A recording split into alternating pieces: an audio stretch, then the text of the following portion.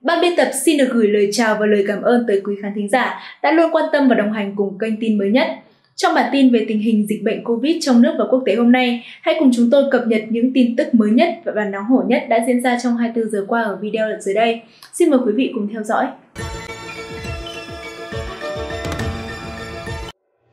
Kính thưa quý vị, tờ báo Bưu điện Hoa Nam, cơ quan ngôn luận của Đảng Cộng sản Trung Quốc cho biết, hôm qua thành phố Vũ Hán, tỉnh Hồ Bắc, một trong những thành phố sầm uất và sôi động bậc nhất của Trung Quốc, lại gánh chịu thêm một trận động đất và lũ quét kinh hoàng. Nơi đây đã từng xảy ra dịch bệnh COVID-19 đầu tiên trên thế giới vào tháng 12 năm 2019.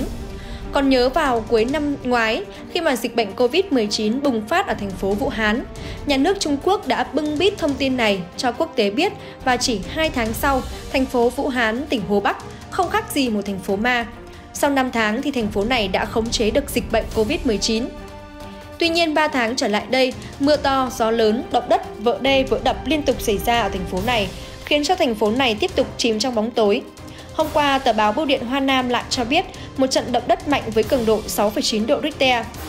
Tâm chấn cách thành phố Vũ Hán khoảng 15 km và ở độ sâu là 2,5 km dưới lòng đất đã vùi lấp toàn bộ một căn cứ quân sự, một sân bay quân sự của quân đội Bắc Kinh khi mà đặt địa điểm ở đây.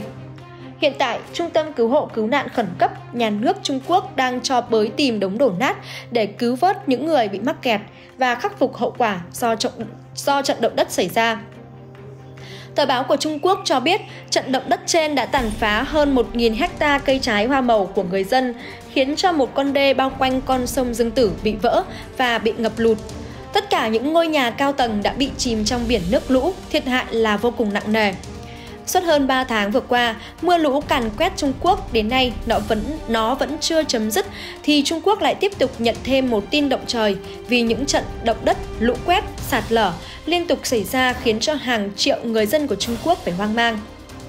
Cảnh tượng như ngày tận thế, người ta cho rằng đây chính là điểm báo rất xấu đối với Đảng Cộng sản Trung Quốc, bởi năm nay là một năm sao xấu của người đứng đầu, ông Tập Cận Bình. Các nhà tiên tri hay cậu bé sao hỏa, người mà đến từ nước Nga đã nói rằng cậu bé đang sống là sao hỏa đã nhìn rõ những vận mệnh của Đảng Cộng sản Trung Quốc và cậu bé nói rằng năm nay là một năm lụi tàn của chế độ ông Tập Cận Bình. Kính thưa quý vị, cũng liên quan tới tình hình đó, tờ báo Bưu điện Hoa Nam cho biết ở tỉnh Vũ Hán còn xuất hiện một hồ nước.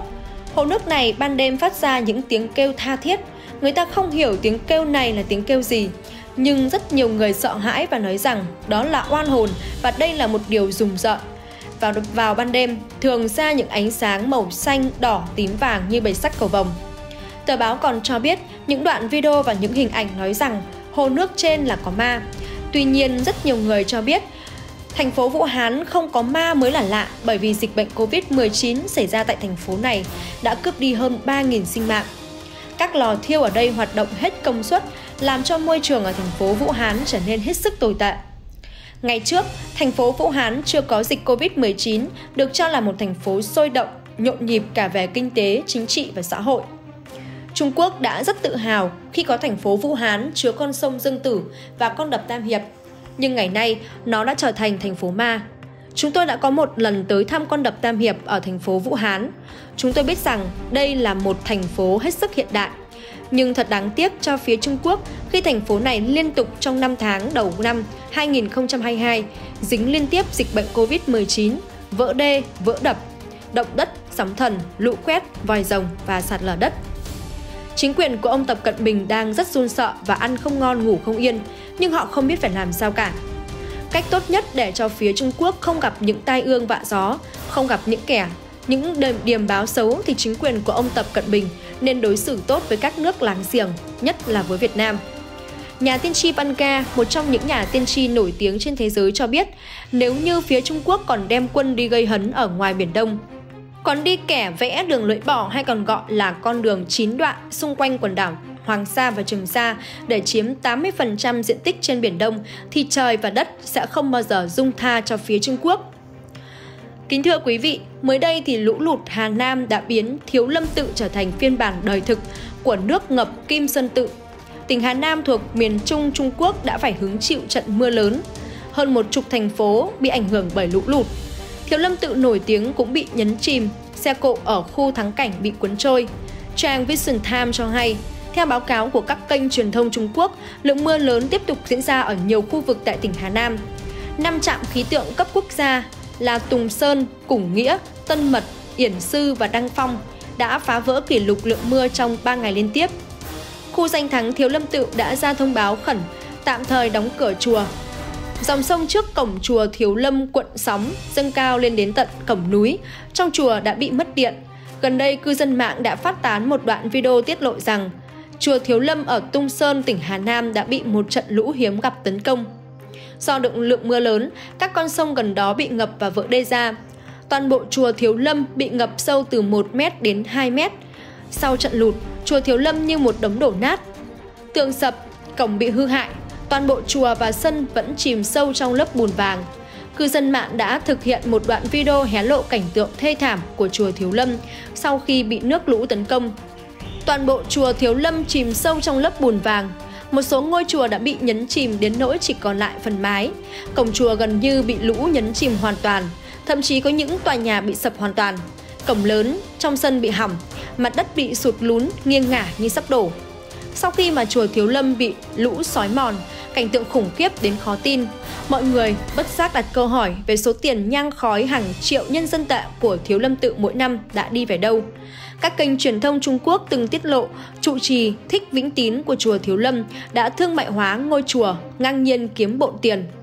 Theo thống kê thì khoảng năm 2018, lượng khách đến chùa Thiếu Lâm đạt gần 2 triệu lượt. Tính với giá vé là 80 tệ, khoảng 280.000 Việt Nam đồng một người, thì trong một năm chỉ riêng chùa Thiếu Lâm đã thu được 150 triệu tệ, khoảng 527 tỷ Việt Nam đồng. Trước những nghi vấn trên thì trụ trì Thích Vĩnh Tín từng giải thích với công chúng, phần lớn số tiền quyên góp đều được dùng để sửa chữa và bảo trì những công trình bị phá hủy của ngôi chùa. Nhưng liệu số tiền quyên góp đó có thực sự được sử dụng để sửa chữa ngôi chùa hay không? Ngay từ vài năm trước, một số cư dân mạng đã rộ lên thông tin rằng trụ trì Thích Vĩnh Tín có một chuỗi tràng hạt bằng gỗ trinh nam nạm vàng trong số đồ đạc cá nhân của mình. Gỗ của cây trinh nam vốn rất đắt đỏ, vào thời điểm đó thì trị giá của chuỗi tràng hạt không dưới hàng chục triệu tệ và được ca ngợi là một trong những chuỗi tràng hạt đắt đỏ nhất thế giới. Năm 2013, Chủ trì Thích Vĩnh Tín cũng bị tiết lộ sở hữu một chiếc xe hơi Audi Q7 hạng sang. Năm 2015, một bức thư tố cáo trụ trì Vĩnh uh, Thích Vĩnh Tín của chùa Thiếu Lâm đã xuất hiện trên internet. Bài đăng đã trích dẫn một lượng lớn bằng chứng tố cáo các vấn đề đời tư của trụ trì Thích Vĩnh Tín như có vợ, nhiều tình nhân và con gái. Bài đăng cũng đã cáo buộc rằng trụ trì Thích Vĩnh Tín có hai thẻ căn cước, một thẻ sử dụng tên Thích Vĩnh Tín và thẻ còn lại sử dụng tên gốc của ông ta là Lưu Ứng Thành. Sau khi vụ bê bối trên của trụ trì Thích Vĩnh Tín bị phanh phui, truyền thông đại lục lại một lần nữa tiết lộ nội tình câu chuyện thương mại hóa ngôi chùa để kiếm tiền trục lợi. Theo báo cáo thì trụ trì Thích Vĩnh Tín nắm giữ 80% cổ phần của công ty tài sản quan trọng nhất của Thiếu Lâm Tự và còn sở hữu cổ phần của 7 công ty con khác. Ông Triệu Phác Sơ, cựu chủ tịch Hiệp hội Phật giáo Cộng sản Trung Quốc, được thăng chức chủ trì của chùa Thiếu Lâm vào năm 1999. Ông đã giữ chức vụ trụ trì của ngôi chùa này trong 22 năm. Theo chỉ lệnh của ông Triệu Phác Sơ, ông Thích Vĩnh Tín thành lập Học viện Thư pháp và Tranh Thiếu Lâm và công ty điện ảnh truyền hình Thiếu Lâm Tự với danh nghĩa thúc đẩy nghiên cứu văn hóa chùa Thiếu Lâm. Ông đã được Đảng Cộng sản Trung Quốc trao tặng danh hiệu chính thức là Phó Chủ tịch Hiệp hội Phật giáo Trung Quốc kiêm Chủ tịch Hiệp hội Phật giáo Hà Nam.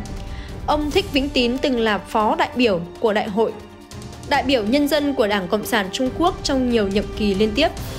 Liên quan tới những vấn đề trên thì chúng tôi sẽ liên tục cập nhật khi có thông tin mới nhất, chính xác nhất để gửi cho quý vị. Còn chương trình ngày hôm nay thì chúng tôi xin phép được tạm dừng tại đây. Kính chúc quý vị tràn đầy sức khỏe, vui vẻ. Xin kính chào và hẹn gặp lại.